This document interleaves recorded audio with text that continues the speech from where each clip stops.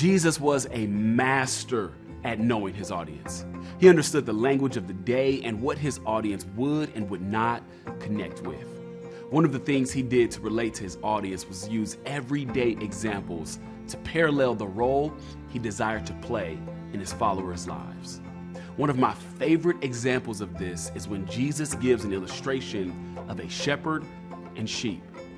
Listen to how Jesus illustrates this relationship. He calls his own sheep by name and leads them out.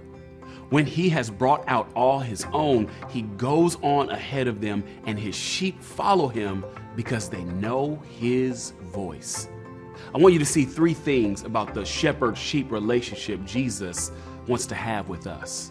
Number one, the shepherd. He knows them by name, he knows your name. You are known by the King of the universe. Second, he leads them. Who's the leader of your life? Jesus wants that burden to be his. Number three, the sheep know his voice. Jesus speaks to us every day in multiple ways. Do we seek him enough to know his voice? It's the shepherd's job to know and lead the sheep, but it's the sheep's job to know the shepherd's voice.